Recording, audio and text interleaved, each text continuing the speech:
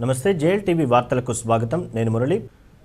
ప్రజా సమస్యల పరిష్కార దిశగా వైకాపా నేతలు అడుగులు వేస్తున్నారు. క్షేత్రస్థాయిలో నెలకొన్న సమస్యలను అధ్యయనం చేసి వాటిని ఎలా పరిష్కరించాలని వైకాపా నేతలు అధికారులతో వార్డు పర్యటనలు సాగిస్తున్నారు. ఇందులో భాగంగా జీవీఎంసీ అరవై నాలుగో వార్డు పెదగంట్యాడ మండలం గొడ్డువాణిపాలెం గ్రామంలో వైఎస్ఆర్ కార్పొరేటర్ అభ్యర్థి ధర్మాల శ్రీను పర్యటించారు. స్థానిక నేతలతో కలిసి అన్ని ప్రాంతాలను పరిశీలించిన ధర్మాల శ్రీను ఈ ప్రాంతంలో డ్రైన్లు మరమ్మతులకు పది లక్షల ఎనభై వేలు విడుదల అయ్యాయని చెప్పారు. ఈ కార్యక్రమంలో గొండేసి రాము నెల్లి వెంకటరమణ గొడ్డు శ్రీక్షణు శెట్టి చిన్న పితాని అప్పన్న మణి గురుమూర్తి మాధవరావు తదితరులు పాల్గొన్నారు.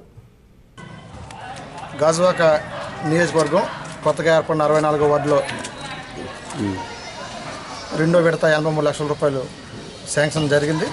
దానిలో భాగంగా గుడ్వనపాలెం గ్రామానికి ఈ యొక్క యువతలందరూ కలిసి మా కమ్యూనిటీలు కావాలని చెప్పడం దాన్ని పెద్దల నాగిరెడ్డి గారు దృష్టిలో పెట్టుకొని కమ్యూనిటీలు పది లక్షల ఎనభై వేలతో తొమ్మిది రూపాయలతో శాంక్షన్ చేయడం జరిగింది. కమిషనర్ గారు ఏమన్నారంటే ఈ కమ్యూనిటీలన్నీ ఎలక్షన్ తర్వాత పెడదామండి.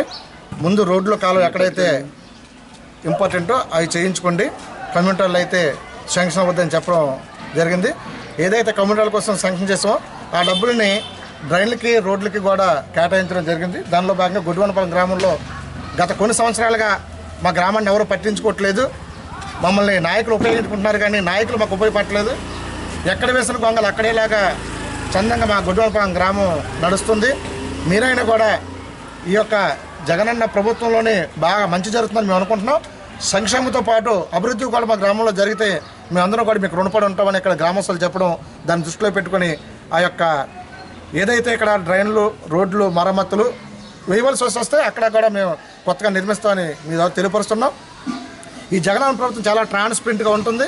ఎటువంటి అవినీతికి తావు లేకుండా పెద్దల నాగిరెడ్డి గారు ఆయన కుమారులు అనునిత్యం ప్రజల్లో ఉంటూ ప్రభుత్వం ప్రవేశపెట్టిన సంక్షేమ పథకాలన్నీ కూడా పార్టీతో సంబంధం లేకుండా కులాలతో సంబంధం లేకుండా అర్హులైన ప్రతి ఒక్కరికి కూడా ఆ సంక్షేమ పథకం అందాలనే సదుద్దేశం జగన్మోహన్ రెడ్డి గారు ఏదైతే నిర్ణయం తీసుకున్నా నేను కట్టుబడి ఉండే మేము కూడా పెద్దల నాగిరెడ్డి గారి ఆదేశాల మేరకు నా వార్డులో ప్రతి ఒక్కరికి కూడా ఆ సంక్షేమ పథకం అందే విధంగా మేము కృషి చేస్తున్నాం. నిరంతర రాజకీయ విశ్లేషణలు సమకాలీన వార్తా విశేషాలకు జేఎల్టీవీ న్యూస్ ఛానల్ను సబ్స్క్రైబ్ చేయండి. పక్కనే ఉన్న గంట సింబల్ను క్లిక్ చేయండి.